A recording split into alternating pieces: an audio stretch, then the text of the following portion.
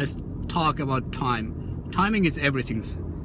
In the business, in the career, in the sports, or everything, whatever you talk about timing, timing is everything because people they wants to be a millionaire as soon as possible. But in the reality it's take too long time, too long time. This is not gonna be like winning a lottery.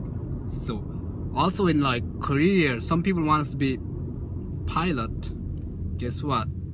Within the one year is not possible or some people they wants to be doctor in one year even not going college or not having practice daily they should be.